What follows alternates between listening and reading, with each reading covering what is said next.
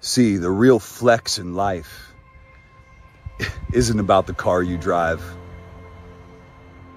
It's not. It's not about all your material possessions.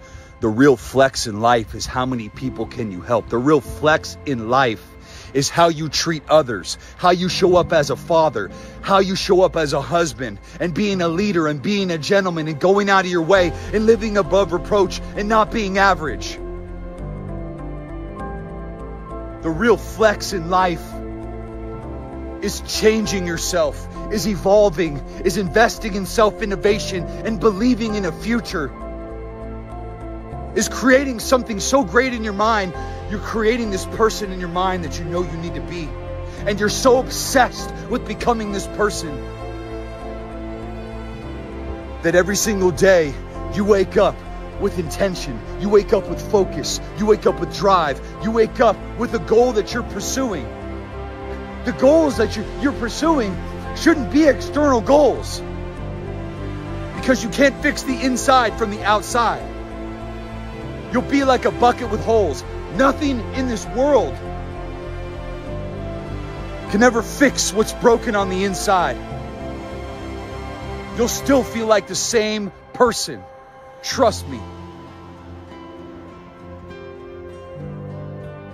The solution lies within you. In doing this work inside and outside of the clinical setting for over a decade, helping thousands of people, what have I found?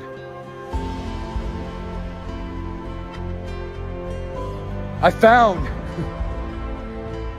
that the real change, the real change, and the real like blowing somebody's mind, the wow factor, the it factor.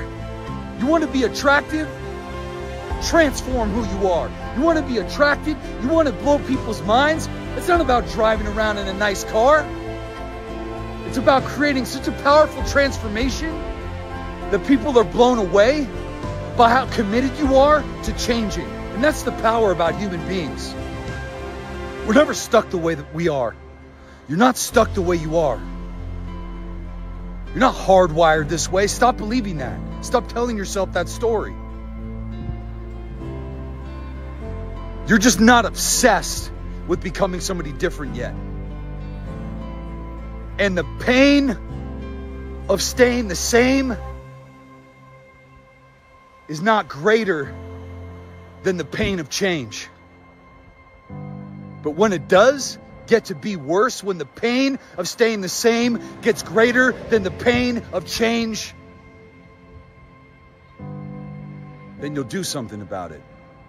And when you're ready, I'll be right here waiting.